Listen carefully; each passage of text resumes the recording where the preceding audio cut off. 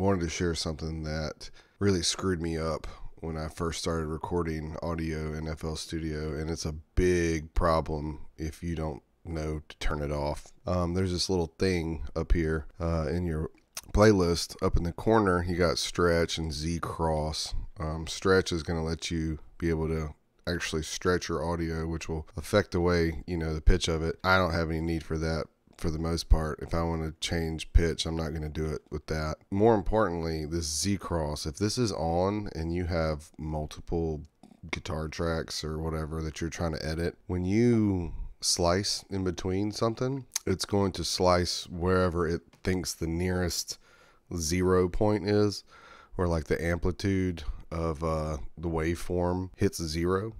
So it can very very quickly mess your audio up if you have that on. I'll show you what I mean. So I'm just uh, going to play this little guitar thing.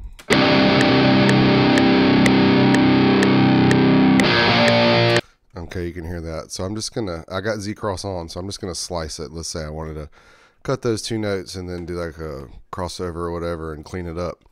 See how much different it sounds.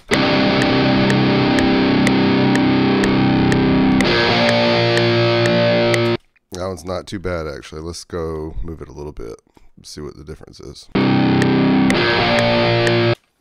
Okay, move it a little bit more.